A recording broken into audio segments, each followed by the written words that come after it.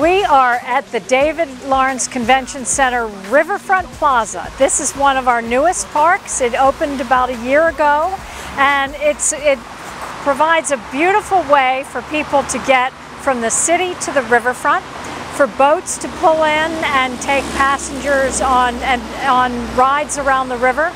It includes a native landscape with natural species that are in bloom with the beautiful black-eyed Susans and it's really become a favorite spot for people to come and enjoy getting right down to the water's edge.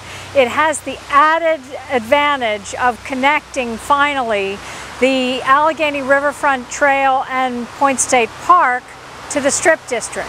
So for a long time this was a missing tooth that now is part of Three Rivers Park and our Riverfront Park system. Now, Riverlife is a really unusual citizen group.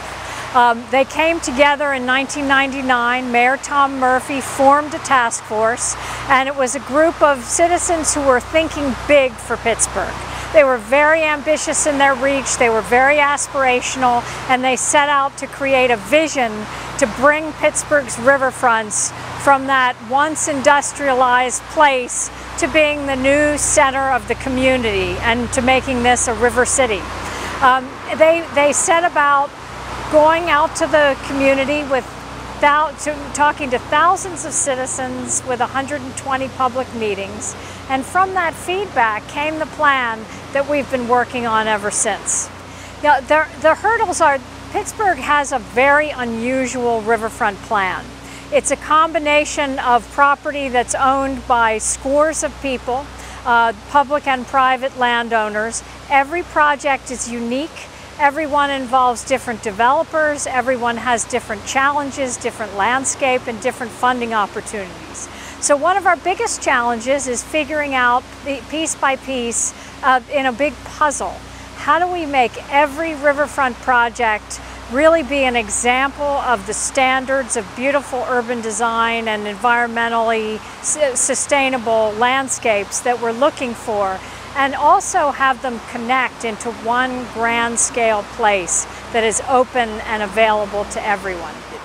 I know everyone misses the Point State Park fountain. It is the icon of our region and it is right now, I'm happy to say, it's a full construction hard hat area. It's the final phase of a, of a long construction period and revitalization of the park.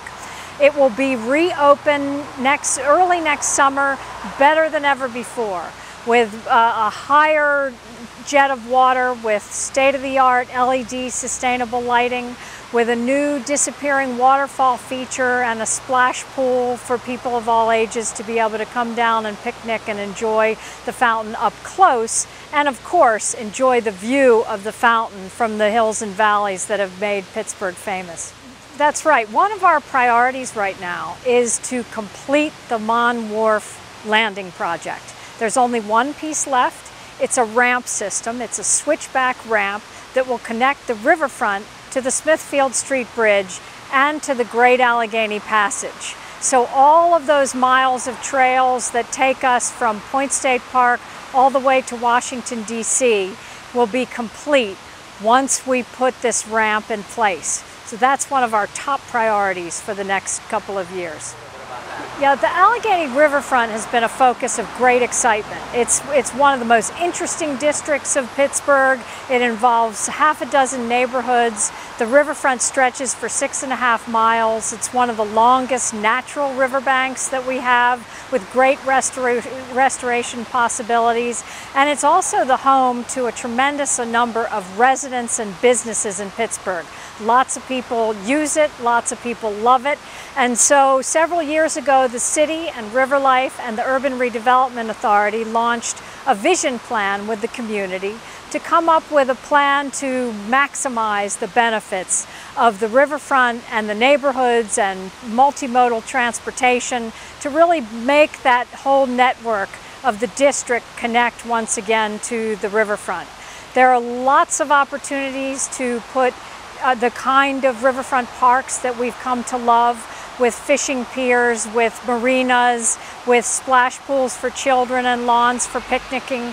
So we're looking at a decade of being able to, to, to connect the neighborhoods and the districts from the Strip District all the way up to Highland Park Dam as our new newest chapter, if you will, of riverfront development in Pittsburgh. We, we have once in the century opportunity to get back to our riverfronts. And one of our challenges is that our riverfronts have been industrialized. And so this time we're looking at how to bring back not only how to create access for pedestrians and boaters, but how to bring back riparian habitat. And what does that mean? It means to create habitat for marine and land species. It means to reinstall native plant species that will stabilize riverbanks, capture rainwater, clean the water, and create a beautiful leafy place where people can feel once again what it was like to be on a natural riverfront riverbank. It's, it's incredibly exciting to see not only that the trails are opening up and thousands upon thousands of people are using it and, and more every year, but we're also finding that the parks and trails along our riverfront are luring investment, real investment. In fact, $4.5 billion of investment in the corporate headquarters that you see in the residential towers, in cultural facilities, in entertainment venues, in sporting uh, facilities. I mean, it's all happening on the rivers. And what that means is that the rivers become a, a place that not only is a gathering space that's free and open to everyone, but that investment and then the income and the job creation that comes out of it, the attraction of tourism, all generates many layers of economic development. So at the end of the day, we have a recreational asset that's becoming an environmental asset, and ultimately that is the economic asset for Pittsburgh. We now approach our riverfronts as one big interconnected system that brings our neighborhoods to the water, that connects the riverbanks continuously to our bridges. And we are we're working to make sure that every four to 600 feet, people uh, in Pittsburgh's neighborhoods can get down to the water to water landings where they can really enjoy, touch, and, and feel the fact that we live in this remarkable river topography. You're talking about Alex Krieger, the world famous planner, um, who, who said that in Pittsburgh he'd love to be a car because the cars occupied all of the best and most valuable land on our waterfront. And it's true. Our waterfronts were loaded with, with uh, railroads, with parking lots, with elevated highways, and it's been a huge challenge to figure out how to bring the landscape back to those edges, how to consolidate that parking, how to, how to make our riverfronts accessible for feet and for multimodal transportation rather than for parking lots and garages. We've come a long, long way. Uh, we are 80% uh, complete now with restoring riverfront edges within the 13 miles of Three Rivers Park.